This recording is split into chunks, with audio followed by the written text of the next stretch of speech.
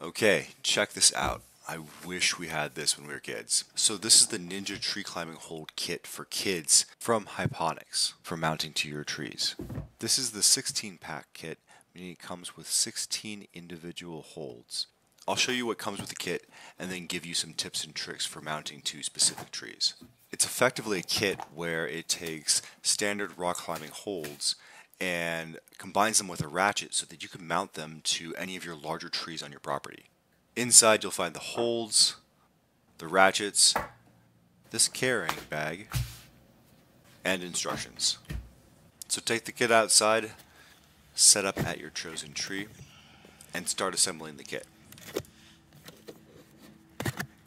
One of these kits is only really going to get you up about 8 feet on a single tree, so plan accordingly. Here are a few more tips. So when you're mounting these to the tree, make sure to have the longer side or the longer direction pointing down. That allows the hold to better support itself against the tree when you have someone grasping on the top of it. This will make it a lot more stable regardless of what trees you have.